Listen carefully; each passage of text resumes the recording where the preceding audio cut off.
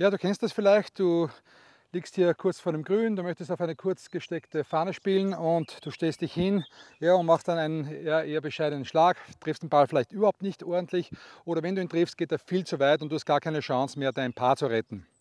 Ja, und das machen die Golfprofis sehr, sehr fein in der Regel mit sehr viel Gefühl. Und was auffallend ist, dass wenn sie den Ball spielen, dass der aufkommt und so ein bisschen, als ob er Superkleber oben hätte, sich so einbremst und dann langsam zur Fahne ausrollt. Und das ist natürlich ein Schlag, der sehr, sehr verlässlich ist für diese Profis und natürlich über das Jahr eine Menge Schläger spart. Und über das möchte ich jetzt mit dir sprechen, wie man da spielt.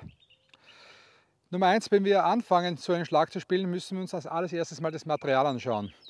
Äh, du brauchst auf alle Fälle ein Sandwich oder Lobwedge, ist jetzt nicht so wichtig, 58 Grad, 54 Grad, 56 Grad, das funktioniert alles, aber es ist gut, wenn es neu ist, also die Grooves neu sind, die Grooves nicht abgespielt sind und du ja ein bisschen eine Reibung bekommst.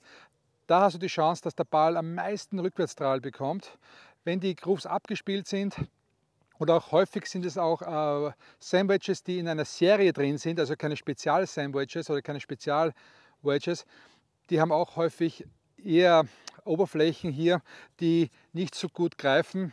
Und da wäre es dann besser, wenn du vielleicht allalong dir ein neues Wedge besorgst, beziehungsweise ein Wedge mit einem ordentlichen Groove-Profil. Da gibt es ja einiges im Fachhandel. Wesentlich ist es auch, welchen Ball du spielst. Es ist nicht egal, wie die Schale ist. Ich habe jetzt hier zum Beispiel so einen Premium-Ball und wenn du jetzt hier mich, mir zuhörst beim Peppeln, vielleicht hört man das durch das Mikrofon, ist das ein sehr weicher Klang hier. Ja? Und ich spüre auch beim Peppeln, dass das ganz, ganz weich sich anfühlt. Ich habe jetzt zum Beispiel hier einen sehr harten Rangeball, der sich auch nicht schlecht anfühlt, aber er ist doch wesentlich härter, er springt wesentlich höher. Vielleicht kannst du das jetzt auch durch das Mikrofon hören. Und ich werde sofort merken, wenn ich bereits diesen Ball peppel, dass da nicht viel Rückwärtsstrahl entstehen kann. Und tatsächlich ist es so, diese Bälle hier, die ich, mit denen ich hier auf der Renn spiele, die haben etwas weniger Spin als ein normaler Premium-Ball. Das heißt, wenn du optimalen Backspin erreichen willst, ist unbedingt notwendig ein Premium-Ball mit einem guten Wedge. Dann hast du schon mal die Voraussetzung, ja überhaupt einen Backspin zu erzeugen, beziehungsweise den Ball so zu spielen, dass er gut greifen kann am Grün. Als nächstes müssen wir uns die Unterlage anschauen, auf der der Ball liegt. Wenn du jetzt zum Beispiel ein tief gemähtes Fairway hast, ja, so wie hier ungefähr, dann kommt beim Kontakt zwischen dem Ball und der Schlagfläche in der Regel sehr, sehr wenig Gras dazwischen und anderer Schmutz. Das erhöht natürlich die Reibung zwischen Ball und der Schlagfläche und das sind auch tatsächlich dann diese Chips oder kleine Finesse-Schläge, so wie ich sie ganz gerne nenne, wo du am meisten ja, am meisten Rückwärtsstrahl hast, wo der Ball richtig so schön am Grün so leicht kleben bleibt, wenn er aufkommt. Wenn du jetzt zum Beispiel ein bisschen Gras dazwischen hast, ich lege zum Beispiel den Ball hierher, habe ein, klein, ein paar Grashalme dazwischen, das wirst du hier in der Kamera nicht sehen, aber das musst du mir jetzt einfach glauben. Und wenn ich jetzt hier spielen würde, würde ich wahrscheinlich ein bisschen Gras dazwischen bekommen und das wäre nicht optimal. Und natürlich, wenn du in einem Semi-Raff bist, wo das Gras höher ist, dann musst du damit rechnen, dass der Ball ohnehin höher rauskommt mit weniger Rückwärtsstrahl und das auf alle Fälle wird zu keinem spinnigen Schlag führen. Das heißt, du kannst es nicht bei jeder Oberfläche machen. Du kannst es auch übrigens nicht machen, wenn es nass ist, also wenn der Boden nass ist, zum Beispiel Tau oder Regen, dann ist es auch sehr schwierig, einen Backspin zu erzeugen. Ich habe jetzt übrigens letzte Woche mal ein Turnier gespielt, sehr unerfolgreich allerdings, aber ich habe zum Beispiel das erlebt, da hat es geregnet, ganz, ganz stark. Ich hatte einen 60-Meter-Schlag und als ich meinen normalen 60 Meter Schwung gemacht habe, ich kann das ja ganz gut ansteuern normalerweise, ob der Ball 60 Meter fliegt oder 55 oder 65, da war zwischen dem Ball und der Schlagfläche im Gras eben Wasser und mein Ball ging fast 15 Meter länger im Regen, als ich es normalerweise gewohnt bin. Ich hatte noch das Glück, oder Pech, dass ich auch noch einen Sprinkler erwischt habe und mein Ball war überhaupt 40 Meter hinter dem Grün. Das kannst du dir vorstellen, wie ich mich gefühlt habe. Aber äh, hätte ich besser aufgepasst, äh, dann wäre ich auf die Idee gekommen, dass der Ball etwas höher weggeht, mit weniger Rückwärtsstrahl und dadurch äh, kann ich schon bereits im Vorfeld ein wenig planen, was mit dem Ball passieren wird. Aber ich stehe jetzt hier auf einer perfekten Fläche, tief runtergemäht, mit einem Premium-Ball, mit einem Premium-Wedge. Die Grooves könnten ein bisschen sauberer sein, aber ich glaube, es ist gut genug. Und jetzt könnten wir sagen, okay, jetzt habe ich die Voraussetzung überhaupt, so einen Schlag auszuführen. Jetzt ist es so, wenn ich diesen Schlag jetzt ausführe, brauche ich ein wenig Technik. Und wenn ich mich jetzt äh, hinstelle, würde ich sagen, dass du ja, den Ball ungefähr in der Mitte hinlegst. Das ist ein ganz ein guter Ort. Ich mag ganz gern, dass so zwei Schlägerköpfe hier zwischen den Füßen Platz haben, ein bis zwei Schlägerköpfe. Und ich gebe jetzt hier wirklich nichts her beim Ansprechen. Damit meine ich, dass ich den Schlägerkopf wirklich direkt hinter den Ball hinlege. Ich habe auch kein Problem, wenn der Ball so ein bisschen zittert, das heißt oszillieren, das ist äh, in der Regel nicht verboten. Ähm, ich möchte nur nicht zu viel Platz zwischen Schläger und Ball lassen, weil ich sonst eventuell ein Gras dazwischen bekomme. Also ich gehe wirklich ganz knapp hin, also keine Angst vor ein bisschen Berührung. Ich gehe dann mit dem Oberkörper auch ein bisschen nach links, weil ich möchte auch den Ball trotzdem bei so einem Backspin-Schlag ein wenig in der Abwärtsbewegung treffen. Und ich möchte auch den Boden treffen, das ist ganz, ganz wichtig. Das heißt, ich möchte einen negativen Eintreffwinkel haben. Ich möchte den Ball schon ein bisschen in der Abwärtsbewegung treffen. Stark abwärts? Nein, das nicht. Deswegen habe ich den Ball auch nicht beim rechten Fuß liegen. Das ist so ziemlich das Schlimmste, was du machen kannst. Da wird der Eintreffwinkel viel zu steil. Und noch ein Problem gibt es, wenn der Ball vom rechten Fuß gespielt wird. Du wirst den Loft verlieren. Und wenn du den Loft verlierst, dann verlierst du auch Backspin. Backspin ist ja nichts anderes als Spin Loft. Ein furchtbar kompliziertes Wort aber es bedeutet nichts anderes, als dass ich einen Eintreffwinkel habe hier, der hinuntergeht und hier habe ich dann einen dynamischen Loft und diese Schere hier zwischen dem dynamischen Loft und dem Eintreffwinkel nennt man den Spin Loft und wenn der bei ca. 45 Grad ist, dann habe ich optimalen Backspin. Das heißt, normalerweise in der Praxis schaut das dann so aus, dass ich eben nicht den Schläger zu weit nach links gebe, sondern nur leicht nach links.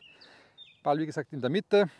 Und ich kann auch die Schlagfläche vielleicht so ein paar Grad öffnen, 2, 3, 4 Grad öffnen, das schadet auch überhaupt nicht. Und dann bekomme ich in der Regel einen optimalen Spin-Loft. Dann habe ich genug Loft, dass ich Backspin erzeuge. Und das wird mir dann eben auch sehr helfen, dass der Ball eben am Grün picken bleibt. Der Ball hat sich sehr gut eingedreht hier. Ich habe richtig gemerkt, wie da etwas drauf war. Ein Backspin.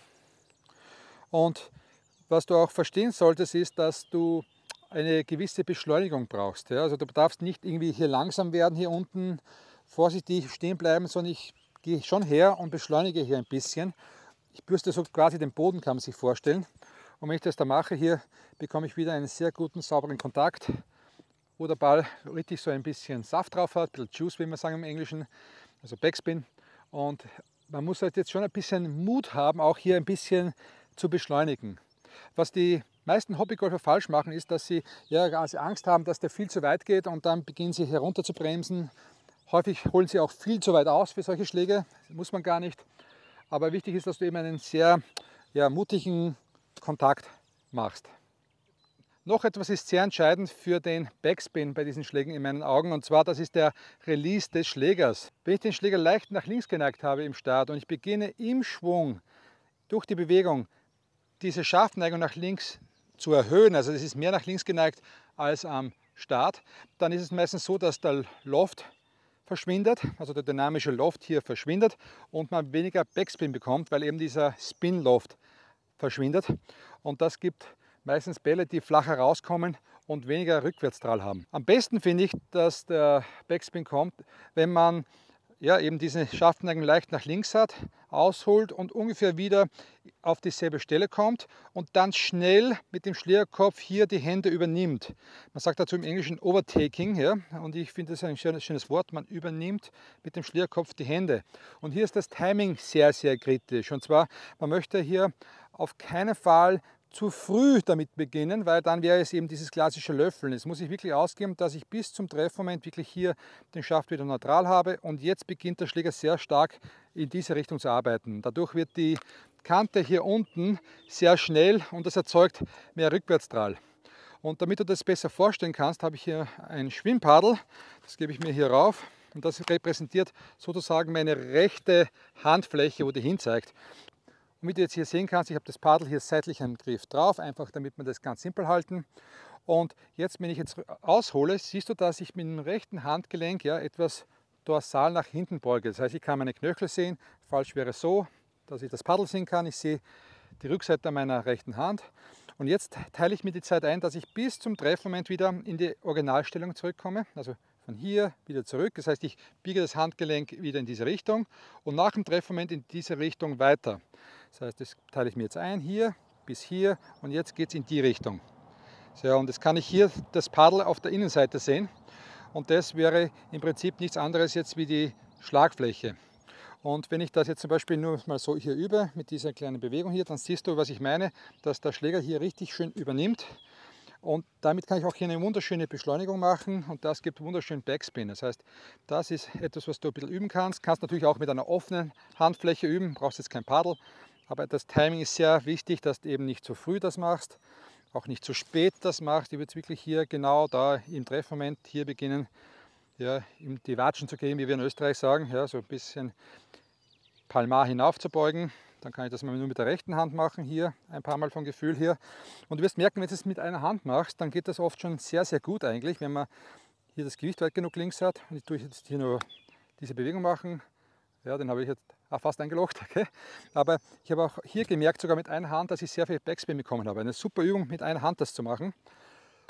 Ja, und wenn du, ja, und wenn du das ein bisschen jetzt im Gefühl hast, dann kannst du auch ruhig mal hergehen und das mit zwei Händen machen. Das heißt, ich hole aus und versuche wieder im Treffmoment das wieder mit dem Handrücken richtig zu machen und gehe dann hierher, dieses Overtaking. Und du wirst auch wirklich spüren, wie du dann mit dem Bounce, mit der Sohle vom Schläger den Boden gut triffst. Und das garantiert dann einen guten Treffer. Ich bekomme dadurch auch Geschwindigkeit hier und das gibt mir eben etwas Backspin und guter Schläger. Und ah, wieder fast ins Loch. Aber auf alle Fälle Du wirst sicherlich diese Schläge aggressiv ausführen, nicht defensiv. Einer der häufigsten Fehler, wie gesagt, bei Hobbygolfern ist, dass sie dann hier zum Zögern anfangen, vorsichtig arbeiten, dass sie zu lang ausholen und sei ruhig aggressiv bei diesen Schlägen. Du musst mutig sein, du musst wirklich hier ein bisschen was machen. Du siehst auch, dass ich mit den Händen sehr nah am Körper bin und nicht lange weit durchgehe. Das ist auch etwas, was nicht gut funktioniert. Zack, kurz und einfach ein bisschen trainieren, diese Schläge. Wenn du die trainierst, wirst du merken, wirst du sehr schnell sehr viel besser. Jetzt wirst du dich vielleicht fragen, wie stelle ich mich im kurzen Spiel überhaupt hin? Da habe ich ein Video gemacht vor kurzer Zeit. Das solltest du dir bitte anschauen und falls du das jetzt hier oben nicht sehen kannst, dann habe ich auch unten noch einen markierten Kommentar beziehungsweise in der Beschreibung gebe ich auch noch einen Link hin, da kannst du das anschauen. Also bis dann gleich drüben auf der anderen Seite. Tschüss.